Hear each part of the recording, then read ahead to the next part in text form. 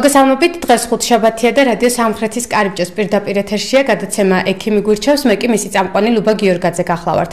ჩვენი გადაცემის ვიდეო ვერსიის ნახვა ასევე შეგიძლიათ სამხრეთის კარიბჭეს ვებგვერდზე SK News-ზე დღევანდელ ჩვენს გადაცემაში კი ვისაუბრებთ სკრინინგის მნიშვნელობაზე. რა უნდა ვიცოდეთ იმისათვის რომ ონკოლოგიური დაავადებები თავიდან ავიცილოთ და როგორი მდგომარეობა გვაქვს ამ კუთხით დღეს საქართველოსში და ჩვენს რეგიონში? საინტერესო ინფორმაციას ამასთან დაკავშირებით ახალციხის რეფერალური ჰოსპიტალის დირექტორი ქალბატონი ხათუნა კეკელაშვილი გაგვაცნობს, რომელიც დღეს ჩვენი გადაცემის სტუმარია. მოგესალმებით ქალბატონო ხათუნა, მადლობა გადაცემაში მონაწილეობისათვის. აა პირველ მოწვევისთვის. მადლობა თქვენ. პირველ რიგში რომ გითხრათ, რამდენად შესაძლებელია კიბოს თავიდან აცილება? აა სწორი ნაბიჯების გადადგმის შემთხვევაში კიბოს თავიდან აცილება რასაკვირველია, შესაძლებელია. თუ ჩვენ ვიცხოვრებთ ჯანსაღად, თუ ჩვენ დავიცავთ ყველა იმ მითითებას, რომელიც ზოგადად არის მოწოდებული ამ მიმართულებით და თუ ჩვენ პერიოდულად შევემოწმებით ხოლმე კონკრეტულ საკითხებთან დაკავშირებით. ერთ-ერთი ასეთი გზა არის სკრინინგი, ალბათ. და რა მნიშვნელობა აქვს სკრინინგს ამ შემთხვევაში, აი ამაზე რომ გვესაუბროთ, ქალბატონო. კი ბატონო. სკრინინგი შეიძლება ნებისმიერი მიმართულებით იყოს წარმოებული და სკრინინგი ზოგადად ნიშნავს გადარჩევას და გამოვლენას.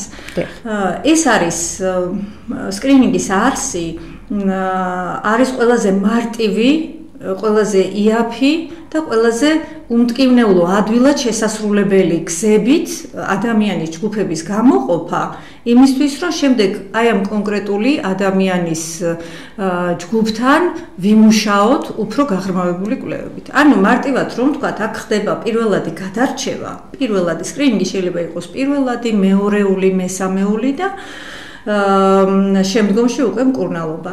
აი პირველადი სკრინინგი, რომელიც თქვათ კიბოს სკრინინგს გულისხმობთ ახლა ჩვენ, გულისხმობს სწორედ ამას, რომ გადავარჩიოთ ჩვენ ადამიანები, რომლებიც ამ წუთას არავლენენ არანაირ თქვათ საშიშროებას ამ მიმართულებით და ადამიანები, რომლებიც შესაძლებელია რაიმე თქვათ რისკის წინაშე იდგნენ.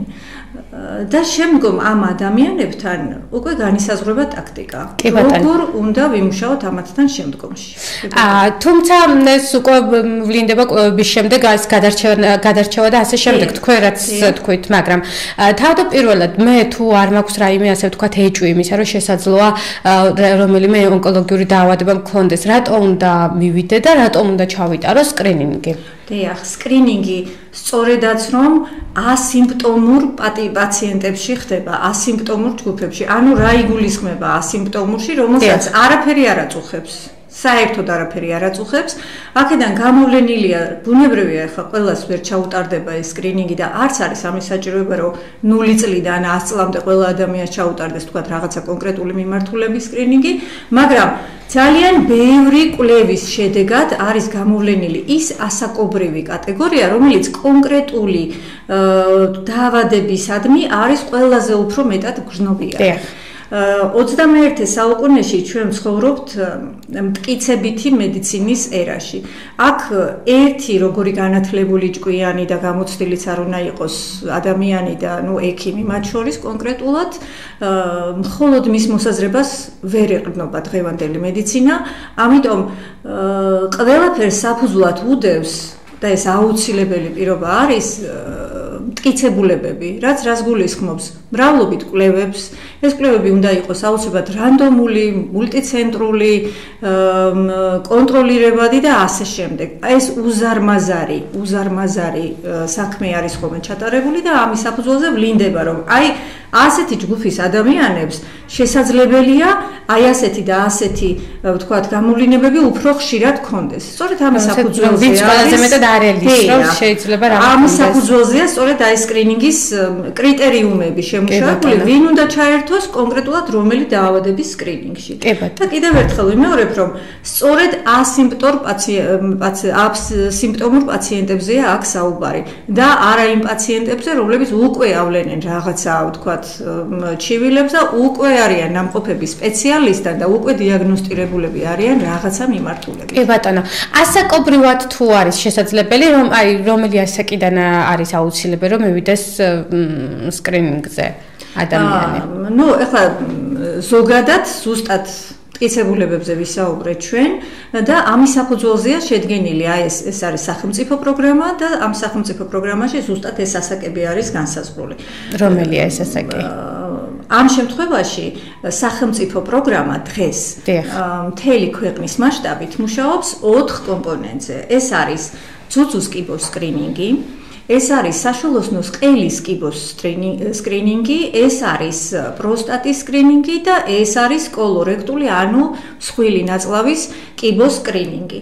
აქ ყველა თითოეულ მიმართულებას თავისი ასაკობრივი კატეგორია აქვს და ჩამოვთვალოთ ეს კატეგორიები.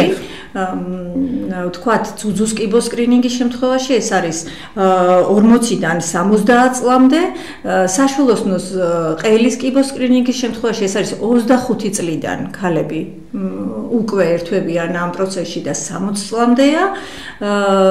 რაც შეეხება მსხვილი ნაწლავის კიბოს ორივე სქესისთვის არის ეს მოწოდებული და მამაკაცებისთვის პროსტატის კიბოს სკრინინგი ეს არის 50-დან 70 წლის ასაკამდე მამაკაცებში. ანუ გამოვლენილია ის ჯგუფები, სადაც ყველაზე მაღალია ალბათობა და რისკი, რომ განვითარდეს აი ეს კონკრეტული დაავადება. ეს რა თქმა უნდა არ ნიშნავს იმას, რომ მანამდე ან ამ ამ მასაკის შემდეგ ადამიანს არ შეიძლება განვითარდეს ეს დაავადება. რა თქმა უნდა, მაგრამ ჩვენ ყველაზე უფრო ფართოდ გავრცელებულ ჯგუფს ვიღებთ და სხვა შემთხვევაში პაციენტი უკვე ოჯახის ექიმის ან ექიმ სპეციალისტის რაღაც გარკვეული შესწავლის შედეგად შეიძლება მიემართოს უკვე კონკრეტული პრობლემის ჩასატარება. ჩვენ ამ პროგრამაზე ვისაუბრეთ, თუმცა საინტერესო არის მაგალითად ერთხელ თუ უკვე მივედი, ჩავიტარე სკრინინგი და აღმოჩნდა, რომ მე არანაირი დაავადება არ არ მაქვს, არ მჭირს. მეორედ თუ არის აუცილებელი, რომ კიდევ მივიდე და და რა პერიოდულობით უნდა მოხდეს ეს სკრინინგი ამ შემთხვევაში? სკრინინგის პროგრამა სწორედ ამას გულისხმობს, რომ ჩვენ, ესე იგი, ჯანმრთელი ადამიანი რო ვართ, დავიდასტუროთ, რომ ნამდვილად ჯანმრთელი ვართ ამ მიმართულებით, ხო? და თითოეული კიდევ ერთხელ ვიმეორებ, ისე ვიმტკიცებულებებს უბრუნდები, თითოეული კომპონენტისთვის შერჩეული არის ის ვადა, რომლის შემდეგაც კიდევ ერთხელ უნდა მივიდე და კიდევ ერთხელ უნდა დავიდასტუროთ, რომ ნამდვილად ჯანმრთელები ვართ. მაგალითად, ზუზუს კიბოს სკრინინგის შემთხვევაში ეს არის სამწლიანი შუალედი, ორწლიანი შუალედი. მაგალითად, საშუალოსნოს ყელის კიბოს სკრინინგის შემთხვევაში ეს არის სამწლიანი შუალედი. პროსტატის სკრინინგის შემთხვევაში ეს არის ერთწლიანი შუალედი, ანუ ეს სხვადასხვა სახის ანალიზები კეთდება, ამაზეაც ვისაუბრებ ჩვენ რა რაზე არის საუბარი და თუ ამ ანალიზების შედეგად ჩვენ აბსოლუტური ნორმა გამოგვივლინდა და არანაირი პათოლოგია არ აქვს, ამ შემთხვევაში სწორედ აი ამ პერიოდულობით უნდა მივაკითხოთ, შეგვიძლია მივაკითხოთ და უფასოდ ჩავიტაროთ ეს სკრინინგი და უნდა მივაკითხოთ, იმიტომ რომ მთავარი რა არის, ხო? მთავარი არის რომ ავიცილოთ პრობლემა თავიდან. ხო?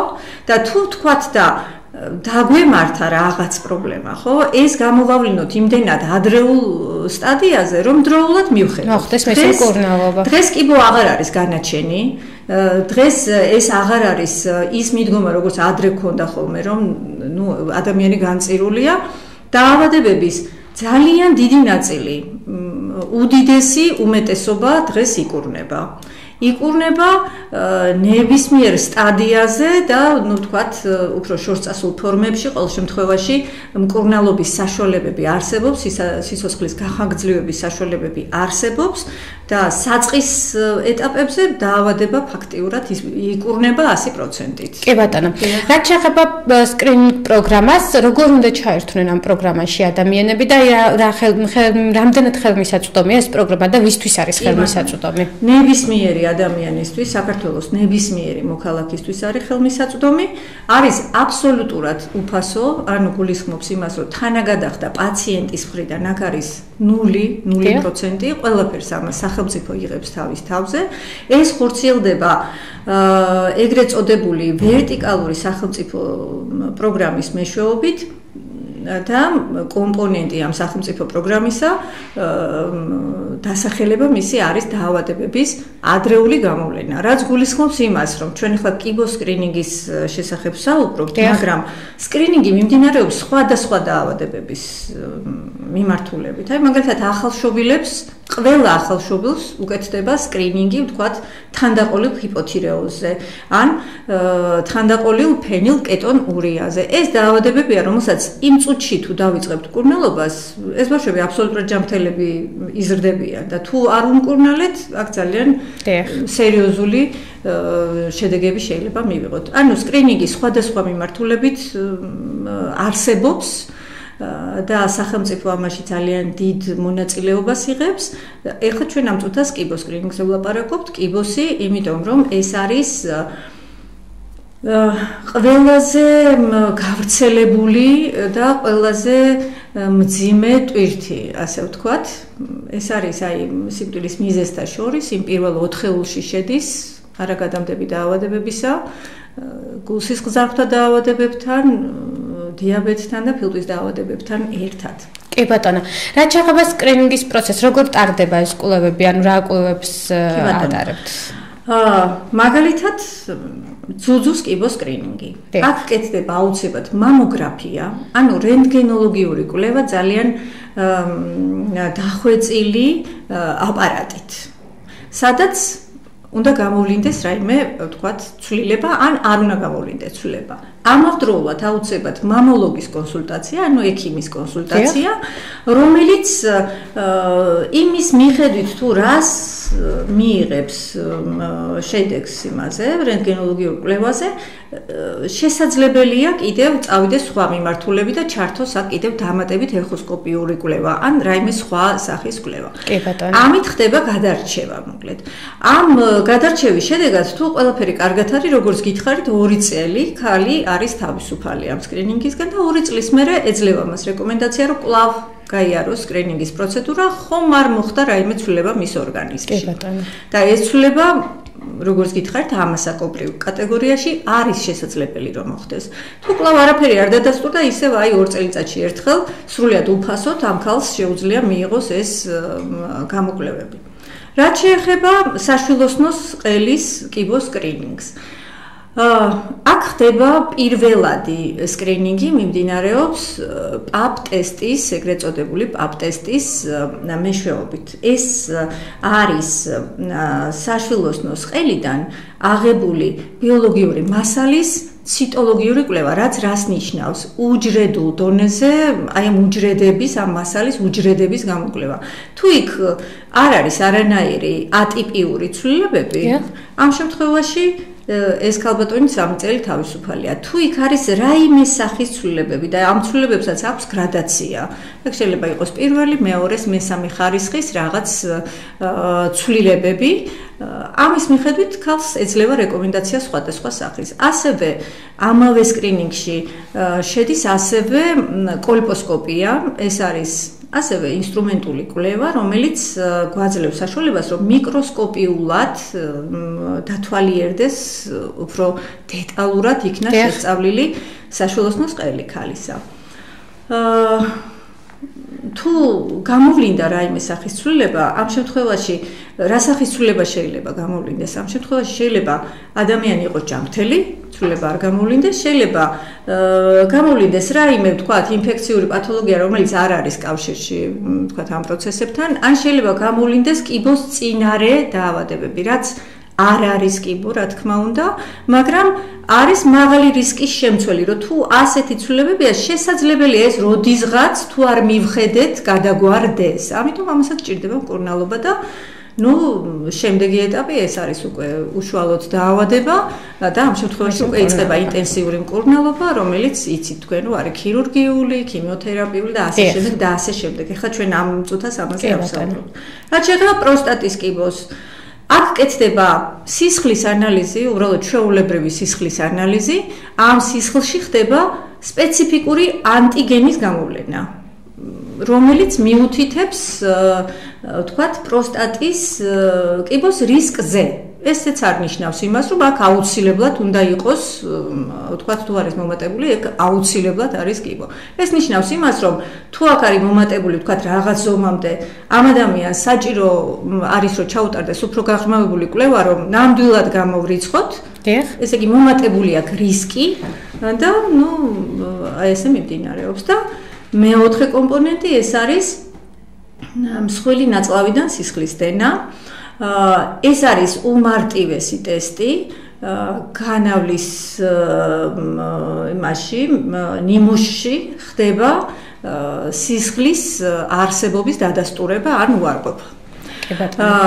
და ეს არის აი ძალიან მნიშვნელოვანი და სერიოზული ძალიან ადრეული ნიშანი იმისა რომ შესაძლებელია ადამიანს კონდეს რაიმე პრობლემა იქ სადაც ძალიან დიდხანს მას არ გამოუვლინდება სიმპტომები. კი ბატონო.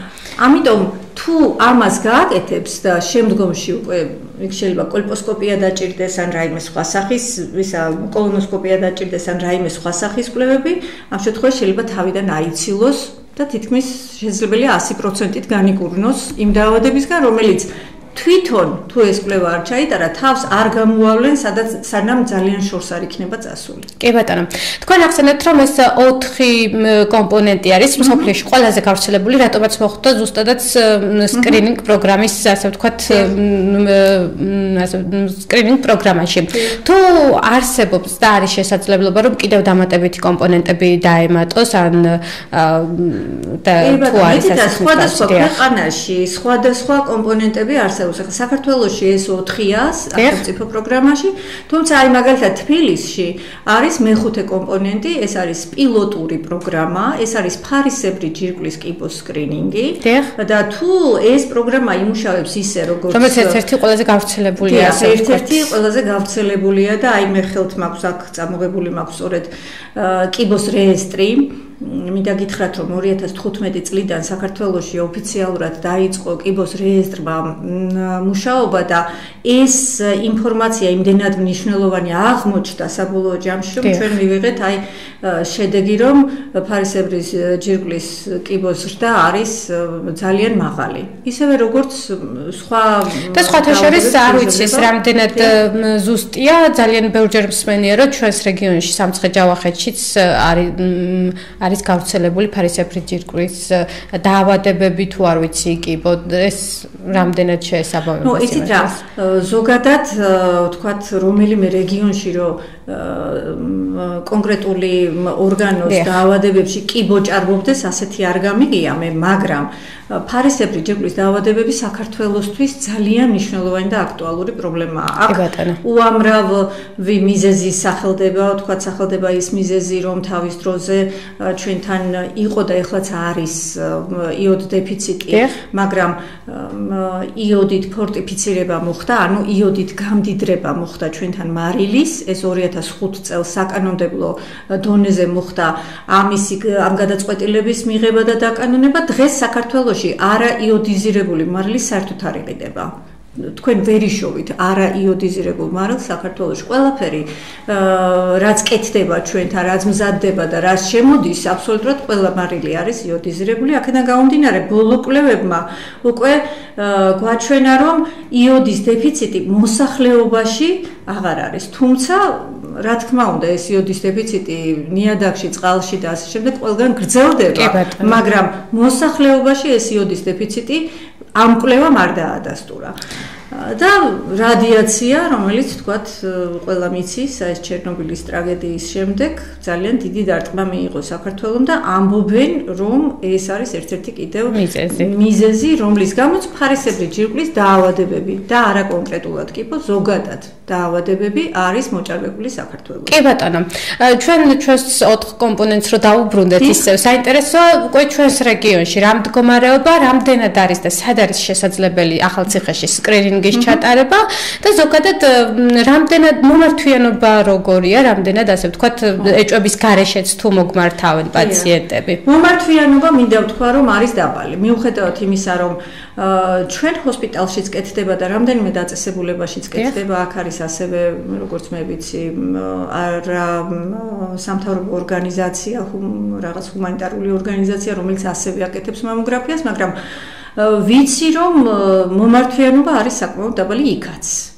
განსაკუთრებით ძალიან დაბალია მომართვიანობა, ვთქვათ, სწორი ნაწლავის, უბრალოდ მსხვილი ნაწლავის, ვთქვათ, კიბოს სკრინინგთან დაკავშირებით. ეს რაღაც ერთგვარი უხერხულობაა შესაძლებელია თვითონ ამ ნიმუშის შეგროვებასთან დაკავშირებით.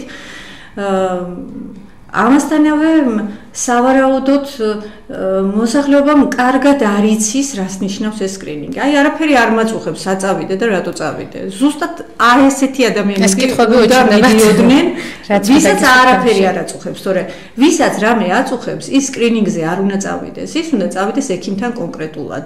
ის უნდა წავიდეს სწორედ. აქ ექიმის გარეშე ხდება პრაქტიკულად ეს სკრინინგი, ხო?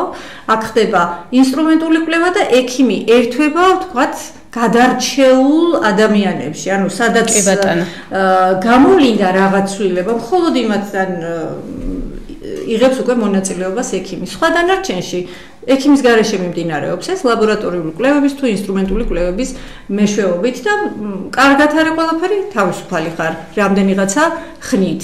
თუ არ არის კარგად მე ექიმი და ხა თუ გვაწუხებს რამე აქ სკრინინგის დრო არ არის ამ დროს უკვე პირდაპირ ექიმთან რა თქმა უნდა. პირდაპირ ექიმთან უნდა მიხვიდეთ რომელიც ან დაგიდასტურებთ ან უარყოფს თქვენ ჩივილების კავშირს რაიმე დაავადებასთან. კი ბატონო. ჩვენ გადაცემის დრო თითქმის იწურება და ბოლო კითხვას დაგისვამთ. გარდა იმისა და ძალიან ცუდია თუ დაბალი მაჩვენებელია და არ მოგმართავენ ზოგადად ამ ჩამოთვლილი ონკოლოგიური დაავადებების მხრივ რა მდგომარეობა გვაქვს რეგიონში რეგიონში რამდენად ასე ვთქვათ მასიურია გავრცელებული? კი აი მე მაქვს აქ ხელს სწორედ გითხარით ეს 2000 ბოლო რეგისტრი კიბოსი სადაც მუნიციპალიტეტების მიხედვით არის დაყოფილი ვთქვათ მონაცემები და აი აქ ჩვენ შეგვიძლია ვნახოთ რომ მამაკაცებში ახალციხის მუნიციპალიტეტში მამაკაცებში ფილტვისა და საშარდე სისტემის ავტოსებიანი სიმსივნეები ჭარბობს, ხოლო ქალებში ისევე როგორც ყველგან სოფლიოში, ისევე როგორც საქართველოში, აქაც სარძევე ჯირკვალი, სასქესო ორგანოები და ფარისებრი ჯირკვალი. აქაც აი ესეთი, ну, რა თქმა უნდა, სხვა სახის სიმსივნეებიც, რა თქმა უნდა, ყველა სახის სიმსივნეები აქ დათვლილი, მაგრამ აი მე პირველ სამეულს გეუბნევით როგორც რაღაცებში ისე ქალებში. კი ბატონო. ძალიან დიდი მადლობა ქალბატონო ხათუნა საინტერესო ინფორმაციისათვის. იმედი მაქვს რომ ჩვენი მსმენელი და მაყურებელიც გაითვალისწინებს და მომართვიანობაც გაიზრდება სკრინინგის. მადლობა გადაცემაში სტუმრობისათვის. მე ჩემს მსმენელსა და მაყურებელს შევახსენებ რომ ჩვენ დღეს სკრინინგის მნიშვნელობაზე საუბრობდით და მართლაც რომ სკრინინგი ძალიან მნიშვნელოვანია, სწორედ ეს ამაზე საუბრობდა ქალბატონი ხათუნა. ჩვენ მომავალ ხუთშაბათს შევხვდებით ერთმანეთს ახალ თემით და ახალ სტუმართან ერთად ნახვამდის.